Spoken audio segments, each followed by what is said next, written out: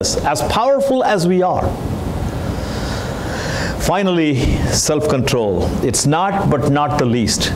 It is the most difficult fruit to produce. It is that fruit that allowed me to walk away from my peanut addiction.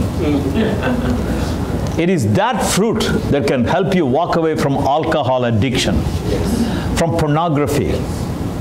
Don't give any money to any agencies, please. There are people that go to certain clinics to eat right for two weeks and their levels are all down. When they come back, they go haywire to compensate for what they didn't eat there. There they were eating healthy. Here they want to eat junk immediately. You know, you, your body has this insatiable appetite. If you give up some junk for 30 days, the first thing that you want to get back to on the 31st day is the junk.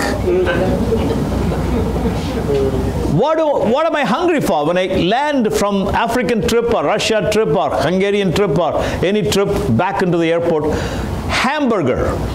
A nice old juicy hamburger. The American great. you may call it junk, but that is feast for me. because there is no place on earth you can enjoy the hamburger with such big buns and Am I making you hungry? we still have two hours to go. No, no, no.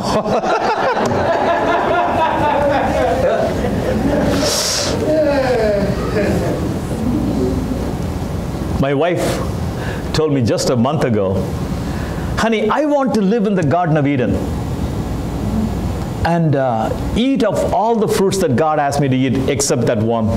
Yes. The fruit of the tree of the knowledge of good and evil. I want to do that, you know. And um, uh, you know what? And she asked me, what made Adam and Eve eat the fruit of the tree of the knowledge of good and evil? I said, I don't know. Only two people, only to two people I answer, I don't know. One is to God, second is to my wife. When God asks me a question, I tell him, I don't know, Lord, please explain. When my wife, wife asked me a question, I said, no, I don't know. What, what do you think? they are in the same place with me. so she said, you know, I mean, it's, it's a powerful revelation to me. So if, I, if she can allow me to preach that, it's a, I mean, the, the fruit of the tree of the knowledge of good and evil is nothing but selfishness. Adam and Eve were focused on following God and listening to God and obeying God up until that point. And the devil took that focus away from them. Look at you. You deserve it. Don't you like it? Don't you want to eat it? So I like to eat it. I want it. I, I, I. So she said, she concluded the fruit of the tree of the knowledge of good and evil is nothing but selfishness, self, self-centeredness, self, self, self, self, self. And that's what we are filled with in this world. Yes. I, me, my. Yes. They're all eating that fruit. But what immediately I turned around and told her at the same time God is giving me this message on self-control. I told her only through self-control can we say no to self. Because the devil comes to tempt us in ourself every day. You deserve it. Do it. There is nothing is going to be wrong, you know.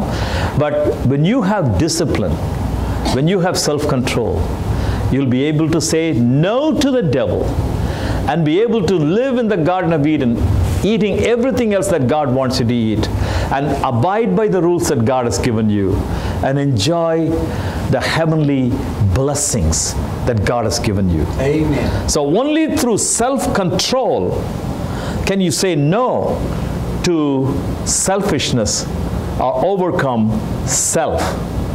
2 Timothy chapter 1 verse 7 says, God has not given us the spirit of fear, but of power and love and a sound mind. You know, I read that verse in several translations, and this is how it is. In Amplified Bible, God did not give us a spirit of timidity, of cowardice, of craven and cringing and fawning fear. Some of you are going to be delivered from fear today. Amen. Because fear is also an obsessive enemy Yes. that is hanging over you. God is going to set you free.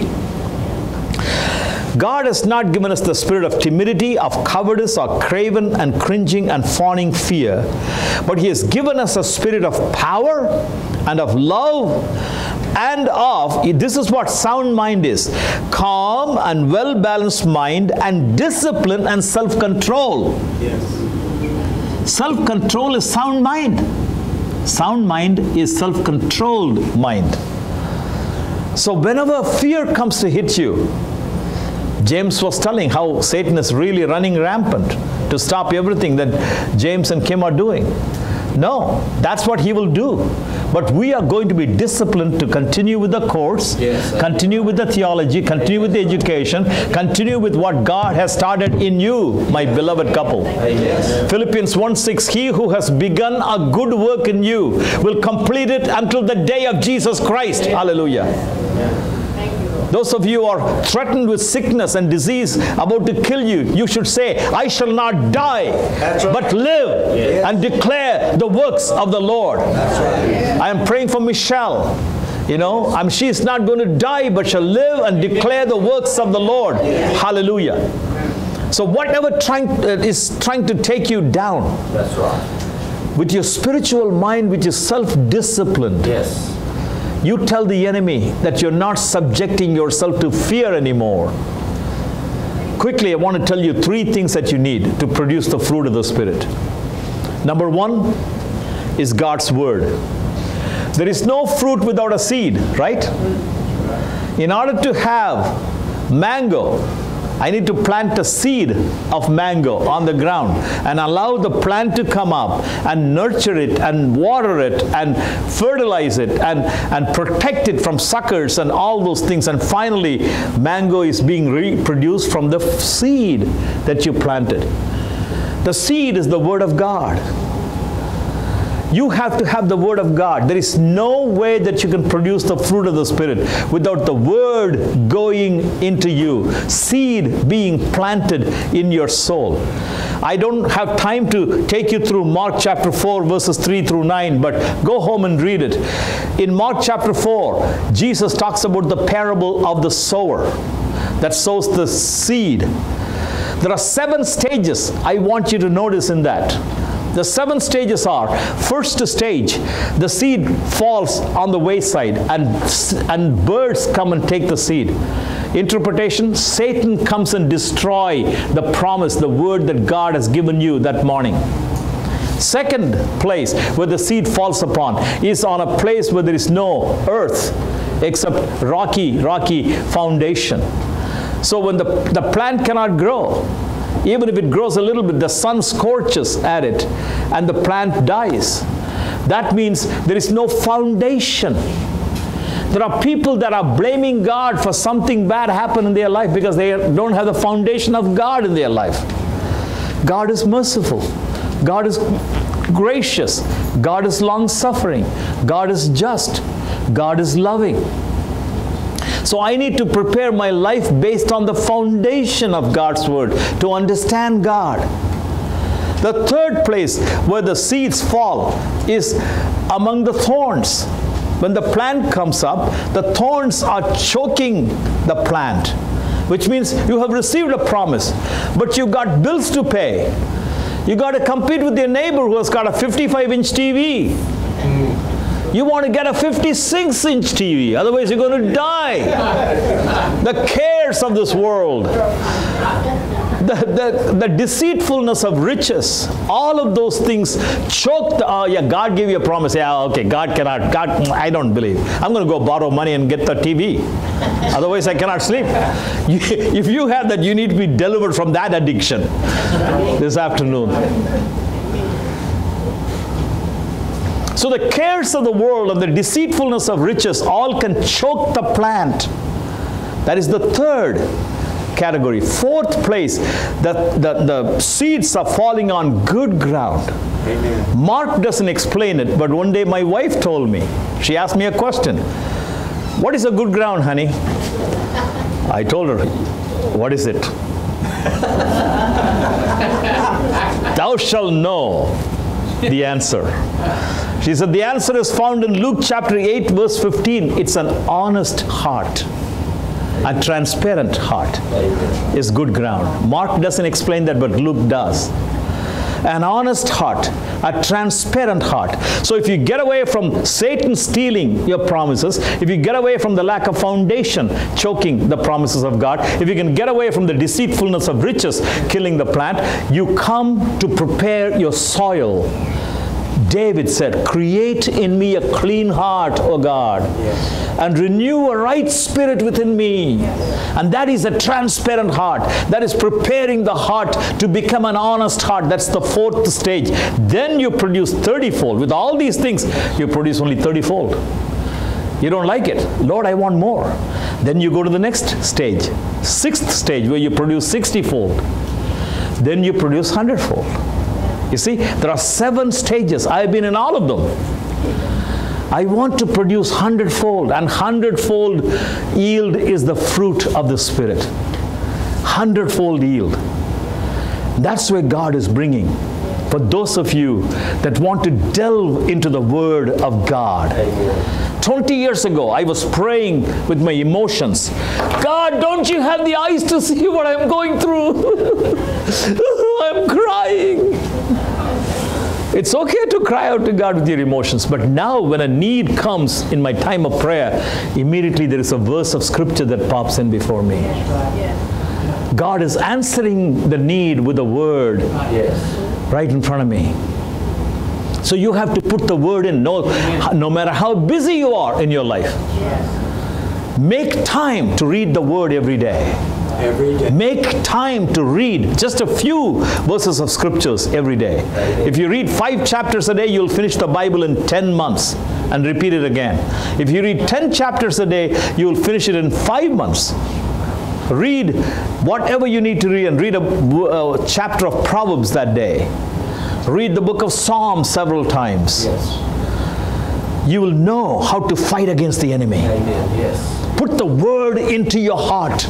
Blessed is the man that walketh not in the counsel of the ungodly, now stands in the way of sinners, now sits in the seat of the scornful. But his delight is in the law of the Lord, and in his law doth he meditate day and night. And he shall be like a tree planted by the rivers of water that bring forth fruit in its season. That's right. Its leaves shall not wither, and whatever he does Shall prosper. shall prosper. And that is what I'm talking about.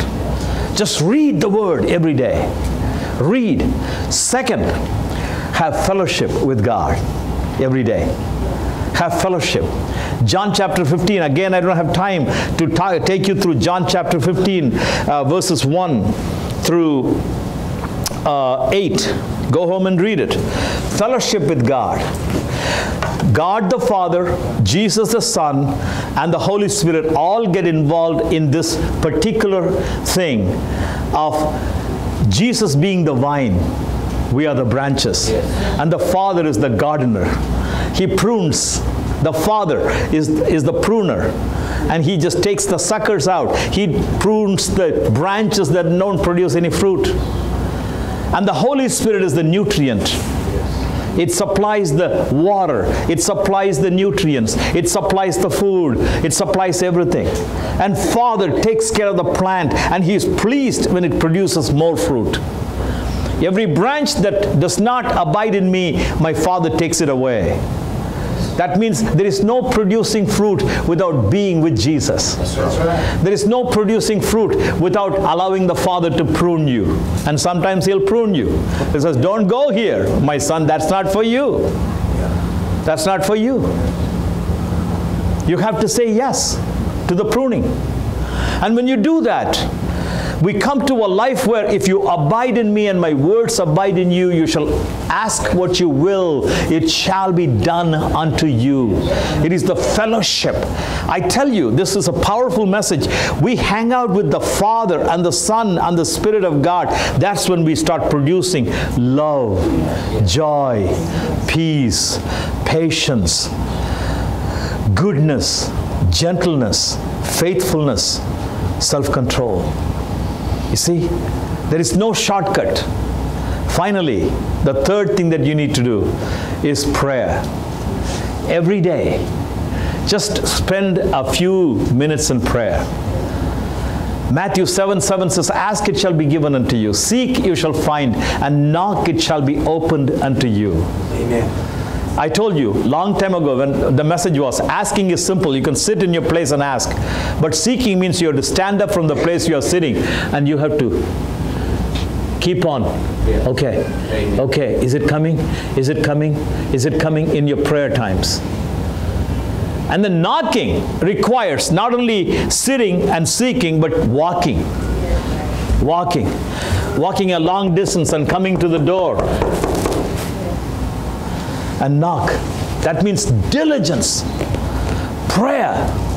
I told the Lord when He asked me to build this place, prayer center, Lord, I'm not a pastor, I'm not a builder, I'm not a businessman, so don't please bog me down with all these things that I have to do, that I lose my sleep over dumb things. I want to hang out with you. If you love me, don't take that away from me. And you know what? God loves me so much that I still have fun with my God every day. Amen. Amen. I have an office there in my prayer center. I spend 99 percentage of my time in the sanctuary, in the altar, probably 1% of time in the office.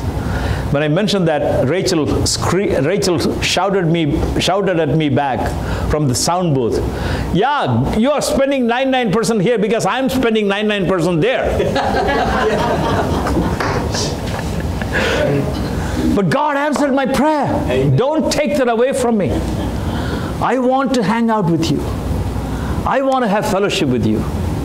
Everything that I'm doing is an outflow of what God is putting on the inside of me. Amen. That's how wonderful God is.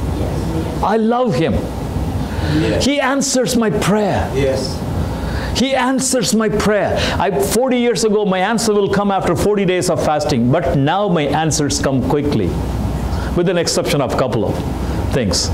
They're also coming. Because the devil cannot succeed. Hallelujah. He cannot hold back the answers anymore. My God is wonderful. So only in prayer can you learn, son, don't hate that person. Love this person. That's right. Because I died for this person. That's right. Pray for this person. Forgive this person. God will convict you. God will comfort you. God will minister to you. Hallelujah. So, this afternoon, let's make a decision for God. Lord, help me produce the fruit of the Spirit in my life. Yes. I want to be loving as you're loving to me. I want to have joy because Jesus is in my life. I want to have peace because the Holy Spirit is within me, no matter how my body feels or not. It doesn't matter. And I want to be patient because you're patient with me.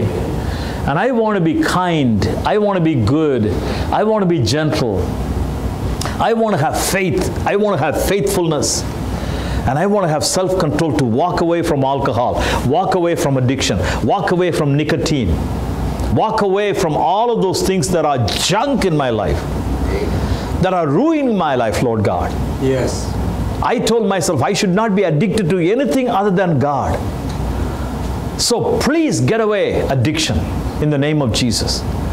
That's why I'm speaking to you today from my experience. And I know God can heal you, not only heal you today, deliver you today, but if you make a dedication to God today, Yes. Lord, I want to produce. I want to reproduce you in my life, Yes. all of you, so that the people can be drawn toward you, Lord.